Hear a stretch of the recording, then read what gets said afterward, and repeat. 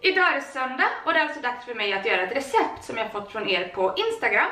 Och Julia har skrivit till mig och hon hade ett recept på chips, så det har jag testat att göra idag. Jag vet ju inte riktigt hur det är för er, men när jag har gjort chips tidigare så har potatisen ofta liksom blivit sladdrig. Men med det här receptet från Julia så har jag faktiskt lyckats och chipsen har blivit jättekrispiga. Kolla! Och för att göra chips så behöver vi såklart potatis.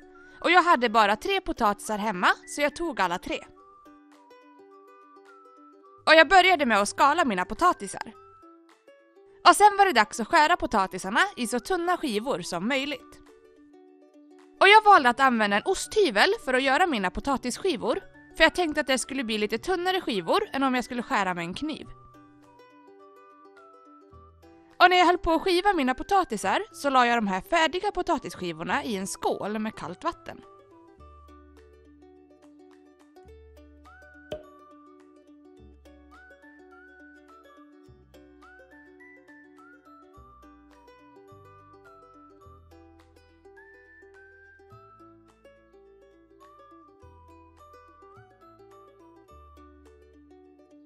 Och sen när jag gjort tunna skivor av alla mina potatisar så tog jag de här skivorna och la det på lite hushållspapper för att få bort så mycket vätska som möjligt.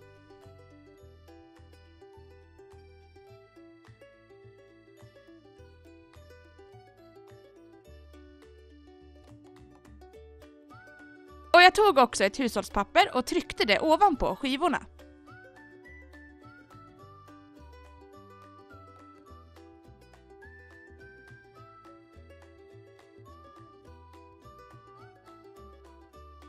Och sen var det dags att lägga potatisskivorna på en plåt med bakplåtspapper.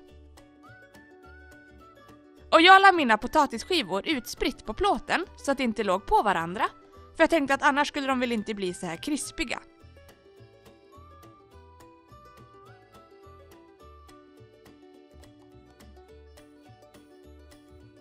Och när jag lagt alla potatisskivor på plåten så hällde jag upp lite olja i en skål och så penslade jag alla potatisskivor med oljan.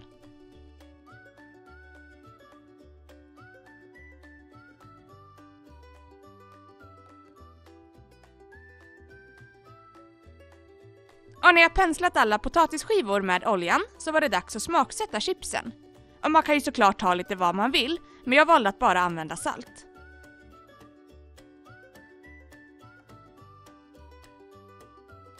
Och sen ska chipsen stå i ugnen i 200 grader.